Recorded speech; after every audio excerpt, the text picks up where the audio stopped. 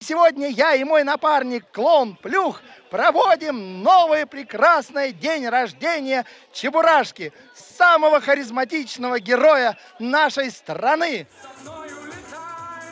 Самый трогательный праздник – день рождения, а самый волшебный – день рождения друга, на празднике которого чувствуешь себя долгожданным гостем. Ежегодная благотворительная акция «День рождения Чебурашки» дарит детям-сиротам ту частичку добра и радости, которая добавит их судьбе больше ярких красок и тепла. Вот уже седьмой год в Парке культуры имени Горького собираются воспитанники детских домов, школ-интернатов и социальных приютов. Каждый раз волонтеры и организаторы с нетерпением ждут своих гостей и встречают их радостными аплодисментами. В этом году, 28 августа, на праздник любимого персонажа собралось около 1200 человек из Москвы, Подмосковья, Тверской, Калужской, Ярославской и Тульской областей. Этот праздник поистине уникален по своему размаху и количеству участников. Он создан по инициативе москвичей и независим от организаций или частных лиц. Чебурашка путешествует по континентам. Тема этого года позволила ребятам совершить путешествие по странам-павильонам, в каждом из которых их ожидало увлекательное приключение – ребенок смог обнаружить в себе самые разные творческие способности. Наш павильон называется Антарктида. У нас холодно и, и очень интересно. Что вы делаете сегодня? Чем вы детей радуете? Значит, мы учим детей рисовать, рисовать и северные пейзажи не только, а также мы учим детей играть в дартс. Это мальчикам очень нравится игра. А, кроме этого, у нас есть игры в бубен и игры с шаманами, с предсказателем. Сегодня у нас э, есть э, различные занятия по изобразительному искусству.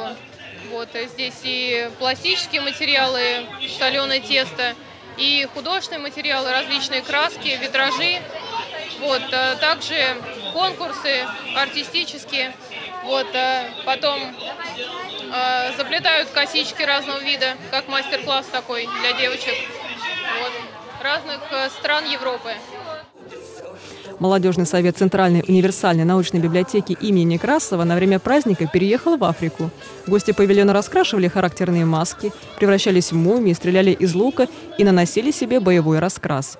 В дар от библиотеки ребята получали красочные детские книги. Я сегодня лепила, раскрашивала, делала себе косичку, а сейчас я сделала красивое ожерелье из макарон. Главным конкурсом праздника в этом году стал фестиваль детского творчества «Че-звезда». На сцене выступили танцевальные песенные коллективы. Лучшие, по мнению жюри, были награждены грамотами и ЧБ-Оскарами.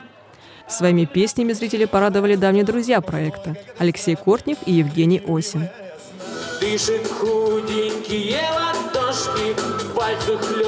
Праздник расширяет свои границы и становится все более популярным. Как и в прошлом году, одновременно со столицей праздновала Пермь, 4 сентября впервые подключился Санкт-Петербург. В следующем году планируется проведение дня рождения Чебурашки в Киеве. И это не случайно. Счастливые глаза детей-сирот вдохновляют организаторов и привлекают все больше энтузиастов.